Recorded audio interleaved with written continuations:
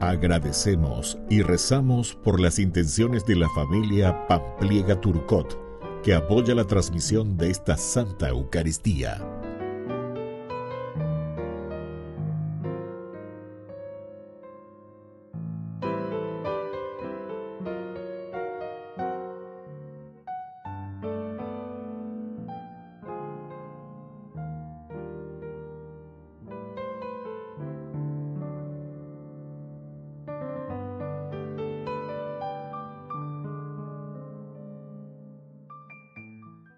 Queridos hermanos, bienvenidos a nuestra celebración.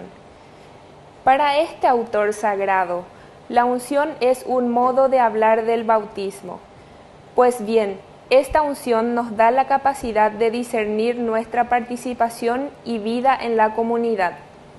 No estamos en la iglesia simplemente porque nos tocó estar o porque nos metieron.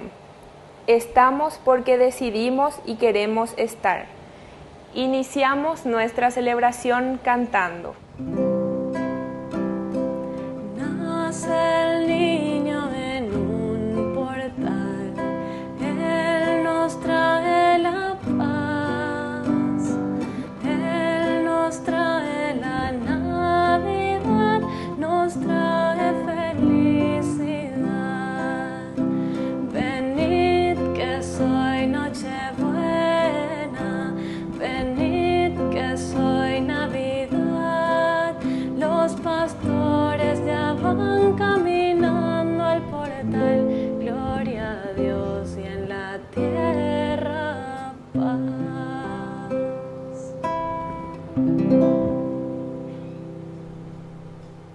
En el nombre del Padre y del Hijo y del Espíritu Santo. Amén. Que la gracia de nuestro Señor Jesucristo, que vino a salvarnos en esta Navidad y a redimirnos de todas nuestras faltas y pecados, esté con cada uno de ustedes. Y con tu espíritu. Queridos hermanos, estamos en este día séptimo de la octava de la Navidad. Al iniciar nuestra Eucaristía, nos reconocemos nosotros pecadores ante el Señor, necesitados de su misericordia.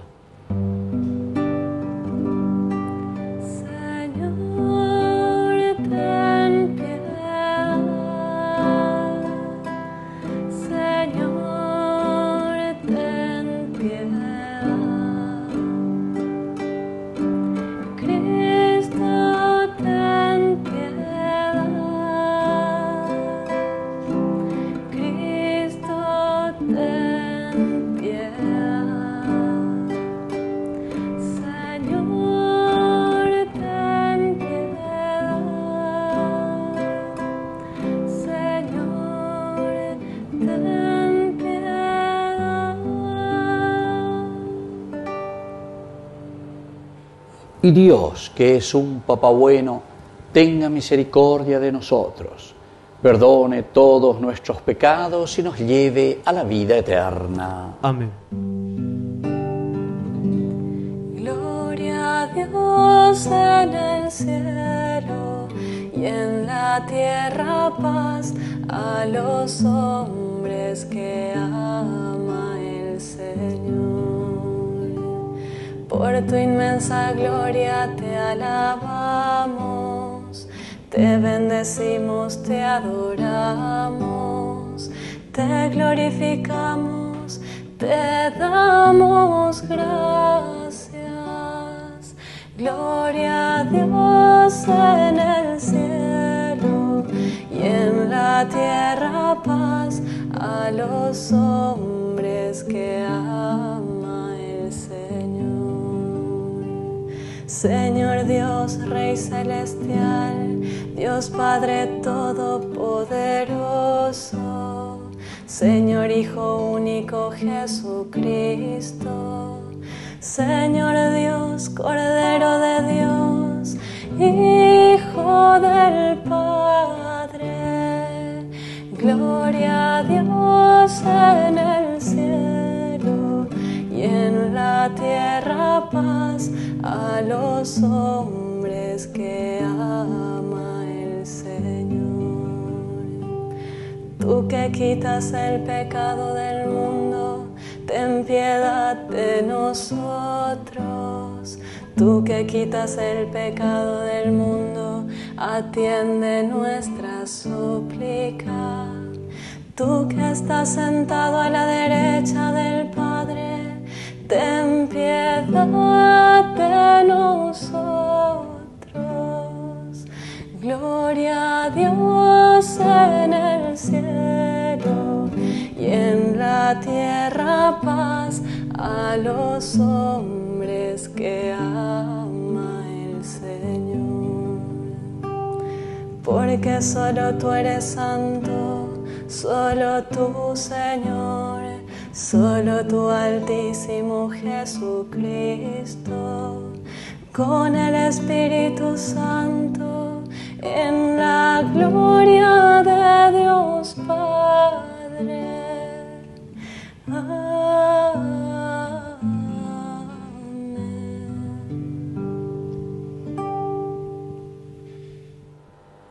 Oración. Dios Todopoderoso y Eterno, que en el nacimiento de tu Hijo nos diste el principio y la plenitud de nuestra comunión contigo, concédenos la gracia de ser miembros vivos de Cristo, en quien se realiza la plena salvación de los hombres. Él, que vive y reina contigo en la unidad del Espíritu Santo y es Dios por los siglos de los siglos. Amén.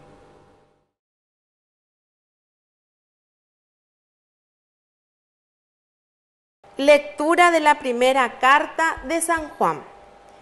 Hijos míos, ha llegado la última hora. Ustedes oyeron decir que vendría un anticristo. En realidad ya han aparecido muchos anticristos y por eso sabemos que ha llegado la última hora. Ellos salieron de entre nosotros, sin embargo, no eran de los nuestros. Si lo hubieran sido, habrían permanecido con nosotros. Pero debía poner, ponerse de manifiesto que no todos son de los nuestros.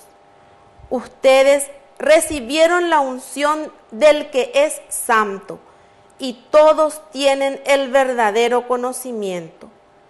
Les he escrito no porque ustedes ignoren la verdad, sino porque la conocen y porque ninguna mentira procede de la verdad. Palabra de Dios. Te alabamos, Señor.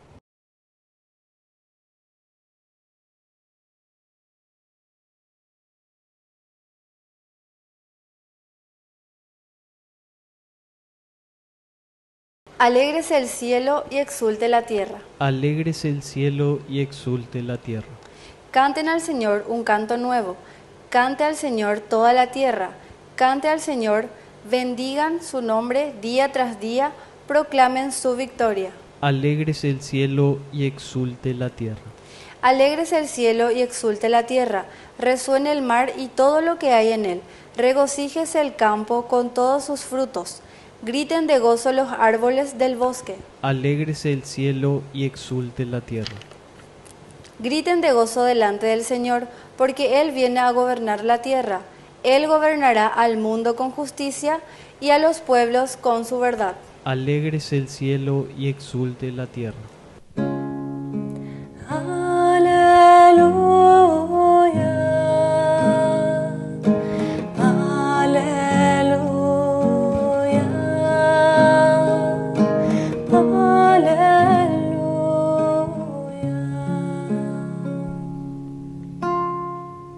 Que el Señor Jesús esté con ustedes. Y con tu espíritu. Evangelio de nuestro Señor Jesucristo, según San Juan. Gloria a ti, Señor.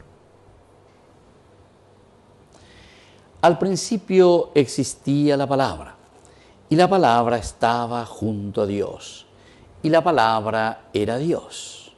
Al principio estaba junto a Dios, todas las cosas fueron hechas por medio de la palabra, y sin ella no se hizo nada de todo lo que existe. En ella estaba la vida, y la vida era la luz de los hombres. La luz brilla en las tinieblas, y las tinieblas no la percibieron. Apareció un hombre enviado por Dios que se llamaba Juan. Vino como testigo para dar testimonio de la luz, para que todos creyeran por medio de él. Él no era la luz, sino el testigo de la luz. La palabra era la luz verdadera que al venir a este mundo ilumina a todo hombre. Ella estaba en el mundo y el mundo fue hecho por medio de ella y el mundo no la conoció. Vino a los suyos y los suyos no la recibieron. Pero a todos los que la recibieron, a los que creen en su nombre, les dio el poder de llegar a ser hijos de Dios. Ellos no nacieron de la sangre ni por obra de la carne, ni de la voluntad del hombre, sino que fueron engendrados por Dios. Y la palabra se hizo carne y habitó entre nosotros. Y nosotros hemos visto su gloria, la gloria que recibe del Padre como Hijo único, lleno de gracia y de verdad. Juan da testimonio de él al declarar, este es aquel del que yo dije, el que viene después de mí me ha precedido, porque existe antes que yo. De su plenitud todos nosotros hemos participado y hemos recibido gracia sobre gracia, porque la ley fue dada por medio de Moisés, pero la gracia y la verdad nos han llegado por Jesucristo. Nadie ha visto jamás a Dios. El que lo ha revelado es el Dios Hijo único que está en el seno del Padre. Palabra del Señor. Gloria a ti, Señor Jesús. Queridos hermanos, qué linda esta lectura entonces que hemos escuchado hoy desde el Evangelio de San Juan. Esto se llama el prólogo. Aquí encontramos toda una síntesis de una dificultad y un problema que en ese tiempo ciertamente que tenían en la comunidad cristiana, los primeros cristianos, los primeros que estaban presentando, anunciando, llevando el querigma, desde la resurrección ciertamente, después de esa experiencia impactante tan fuerte de la resurrección de Jesús de Nazaret. Y el prólogo comienza diciéndonos que al principio existía la palabra y la palabra estaba junto a Dios y la palabra era Dios. Aquí está entonces la clave, queridos hermanos.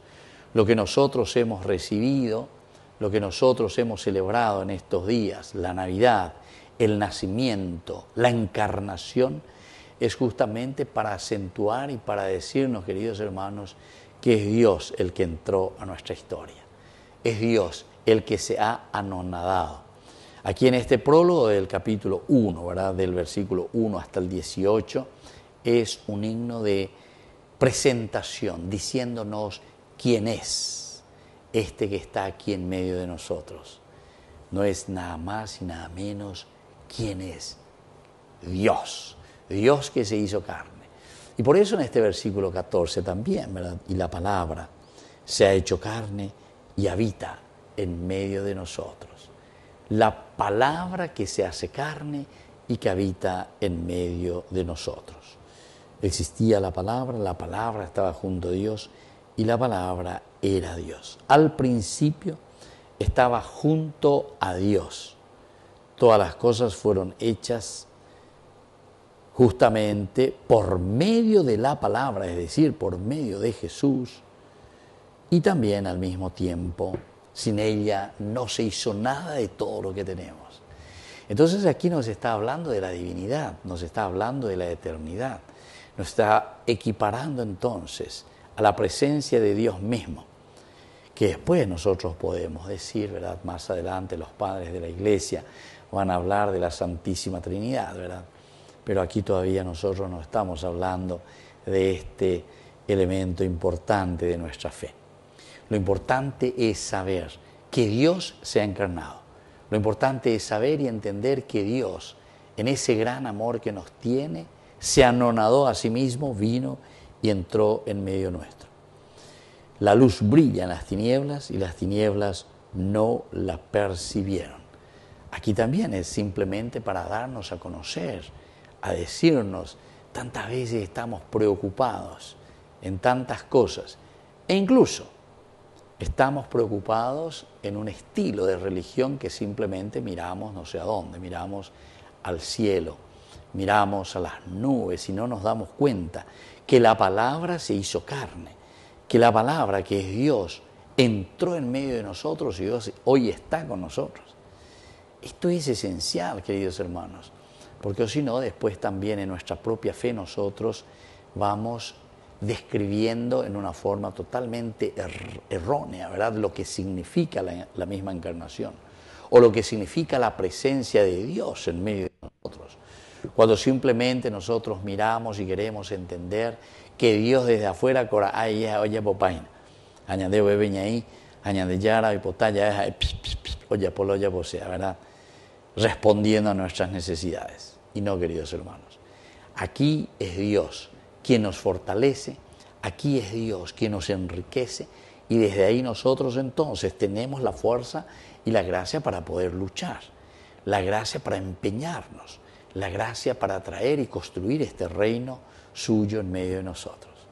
Queridos hermanos, pidamos esta gracia, que este prólogo de San Juan que hoy hemos leído nos ayude también a nosotros a saber, a repetir, a entender, a descifrar, comprender que el verbo se hizo carne y habitó en medio de nosotros, que la palabra, que es Jesucristo, o mejor dicho, la palabra que es Dios, se ha hecho presente en la persona de Jesucristo y que habita hoy en medio de nosotros.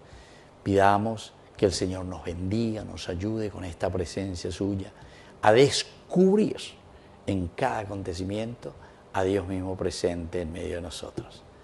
Que así sea. Que así sea.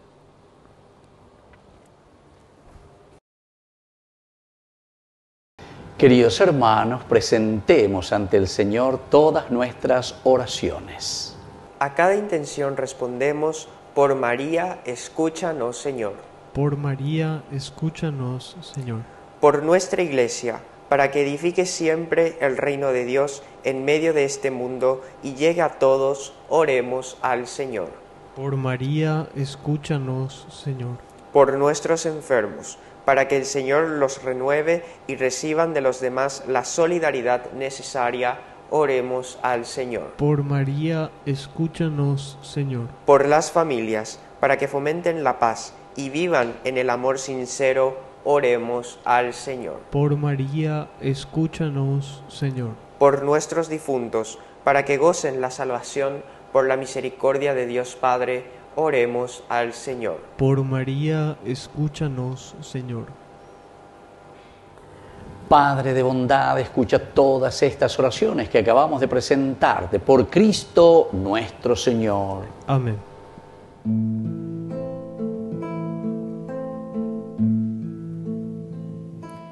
Te ofrecemos, Señor, este pan por los niños que habrán por mi hermano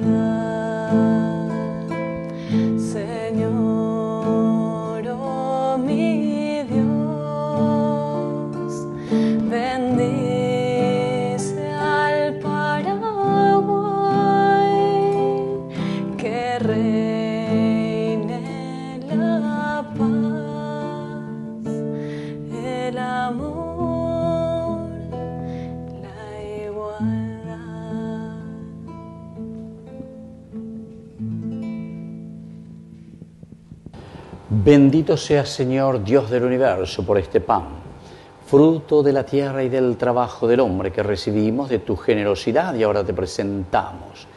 Él será para nosotros pan de vida. Bendito seas por siempre, Señor.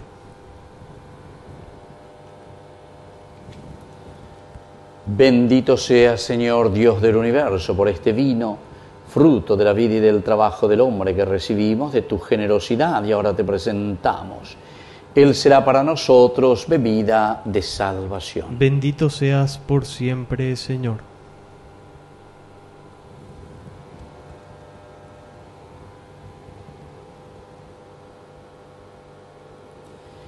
En el momento de ofrecer el sacrificio de toda la iglesia, recemos a Dios Padre Todopoderoso. El Señor reciba de tus manos este sacrificio para alabanza y gloria de su nombre, para nuestro bien y el de toda su santa iglesia. Oración. Dios nuestro, fuente del amor sincero y de la paz, concédenos glorificar tu nombre con estas ofrendas que te presentamos y por la participación en la Eucaristía, ayúdanos a vivir unidos en un solo corazón. Por Jesucristo nuestro Señor. Amén. Que el Señor Jesús esté con ustedes. Y con tu espíritu. Levantemos el corazón. Lo tenemos levantado hacia el Señor. Demos gracias al Señor nuestro Dios. Es justo y necesario. En verdad es justo y necesario. Es nuestro deber y salvación darte gracias siempre y en todo lugar, Señor Padre Santo, Dios Todopoderoso y Eterno, por Cristo nuestro Señor, el cual, en el misterio santo que hoy celebramos, se hizo presente entre nosotros sin dejar la gloria del Padre. Siendo invisible en su naturaleza divina, se hizo invisible al asumir la nuestra. Y engendrando antes de todo tiempo, comenzó a existir en el tiempo para reintegrar en la unidad a la creación entera, reconstruyendo en su persona cuanto en el mundo yacía derrumbado, y para llamar de nuevo al hombre caído al reino de los cielos. Por eso, unidos a los coros angélicos, te aclamamos llenos de alegría. Santo, santo, santo es el Señor del universo. Llenos están los cielos y la tierra de su gloria. Bendito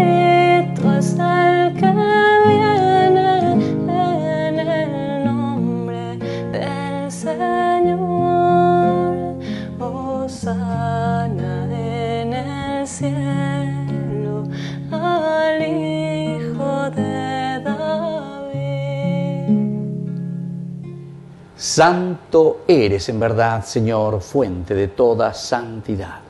Por eso te pedimos que santifiques estos dones con la fusión de tu Espíritu, de manera que sean para nosotros el cuerpo y la sangre de Jesucristo nuestro Señor. Él mismo, cuando iba a ser entregado a su pasión voluntariamente aceptada, tomó pan. Dándote gracias, lo partió y lo dio a sus discípulos, diciendo, Tomen y coman todos de él, porque esto es mi cuerpo que será entregado por ustedes.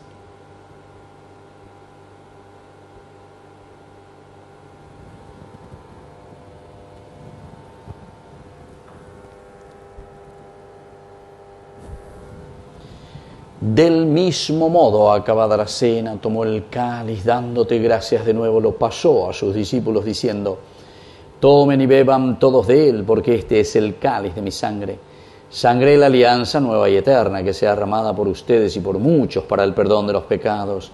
Hagan esto en conmemoración mía.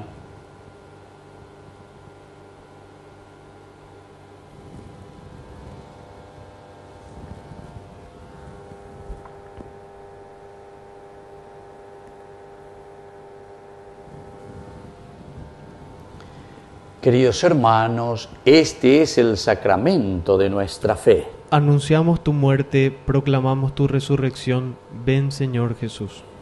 Así pues, Padre, al celebrar ahora el memorial de la muerte y resurrección de tu Hijo, te ofrecemos el pan de vida y el cáliz de salvación. Y te damos gracias porque nos haces dignos de servirte en tu presencia. Te pedimos humildemente que el Espíritu Santo congregue en la unidad a cuantos participamos del cuerpo y sangre de Cristo. Acuérdate, Señor, de tu iglesia extendida por toda la tierra, con el Papa, con nuestro obispo y todos los pastores que cuidan de tu pueblo, llévala a su perfección por la caridad. Acuérdate también de nuestros hermanos que se durmieron en la esperanza de la resurrección y de todos los que han muerto en tu misericordia, admítelos a contemplar la luz de tu rostro. Ten misericordia de todos nosotros y así con María la Virgen, Madre de Dios, los apóstoles y cuantos vivieron en tu amistad a través de los tiempos, merezcamos por tu Hijo Jesucristo compartir la vida eterna y cantar tus alabanzas. Por Cristo con Él y en Él, a ti Dios Padre Omnipotente, en la unidad del Espíritu Santo, todo honor y toda gloria por los siglos de los siglos. Amén.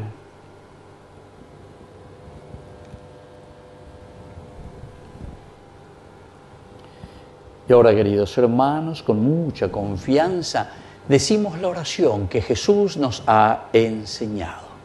Padre, nuestro, que estás en el cielo santificado sea tu nombre. Venga a nosotros tu reino. Hágase tu voluntad en la tierra como en el cielo. Danos hoy nuestro pan de cada día. Perdona nuestras ofensas, como también nosotros perdonamos a los que nos ofenden. Y no nos dejes caer en la tentación y líbranos del mal. Líbranos, Señor, de todos los males. Concédenos la paz en nuestros días, para que, ayudados siempre por tu gran amor y misericordia, vivamos libres, protegidos contra toda perturbación, mientras esperamos la gloriosa venida de nuestro Salvador Jesucristo. Tuyo es el reino, tuyo es el poder y la gloria por siempre, Señor. Señor Jesucristo, que dijiste a tus apóstoles y hoy nos dices a nosotros, mi paz les dejo, mi paz les doy, no tengas en cuenta nuestros pecados, sino la fe de tu iglesia. Y conforme a tu evangelio, concédele la paz y la unidad tú que ves y reinas por los siglos de los siglos. Amén. Que la paz del Señor esté siempre con ustedes. Y con tu espíritu.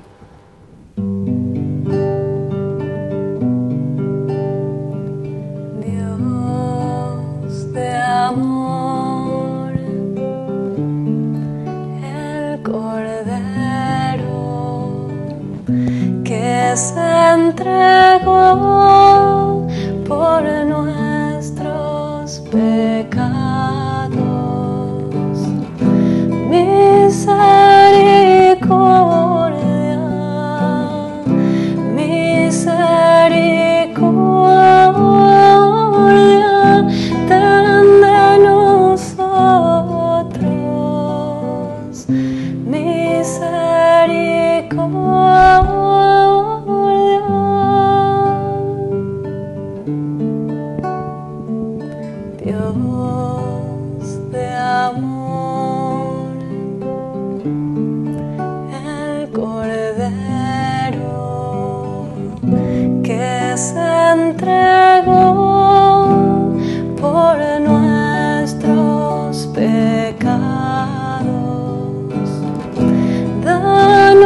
tu paz,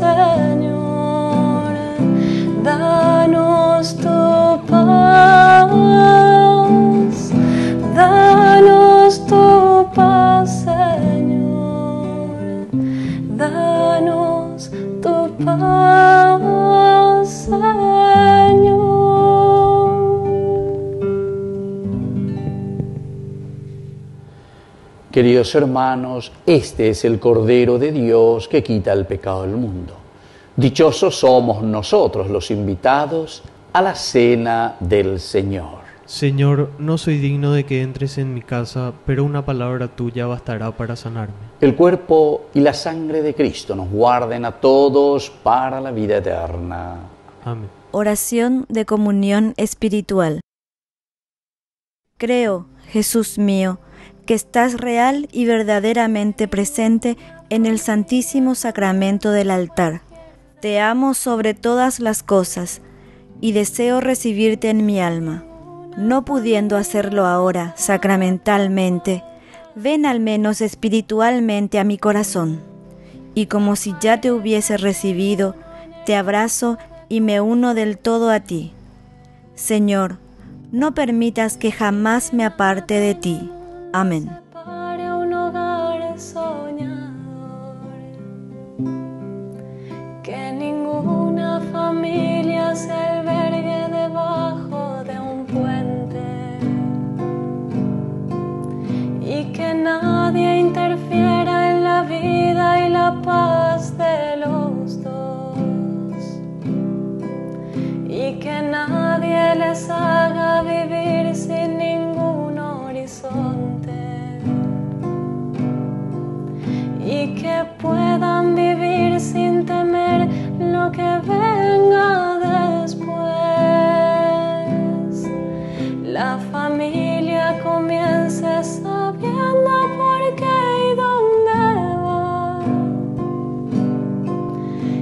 Que el hombre retrate la gracia de ser un papá.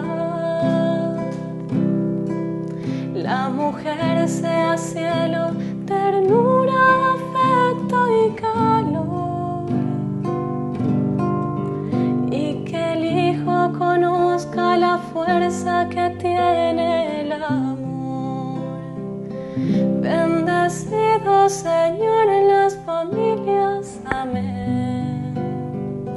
Bendecido Señor, la mía también. Bendecido Señor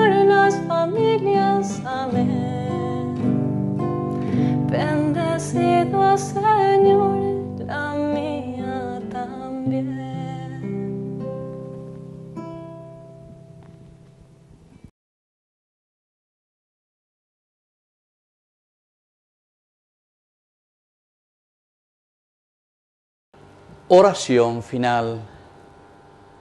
Señor, que tu pueblo tantas veces ayudado por ti pueda recibir hoy siempre los dones de tu amor, para que fortalecido por los bienes transitorios, busque con mayor confianza los bienes eternos.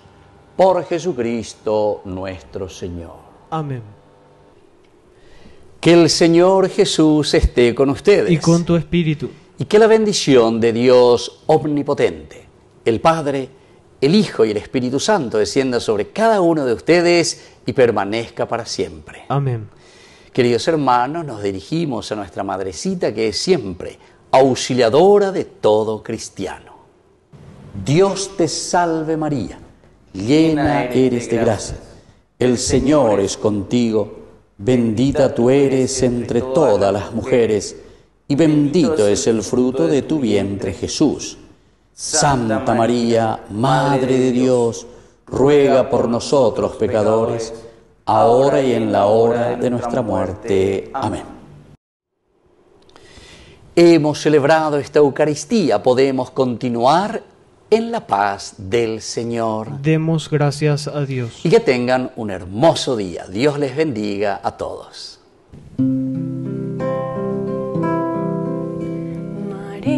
De Nazaret, María me cautivó, por hijo ella me adoptó y fortaleció mi fe.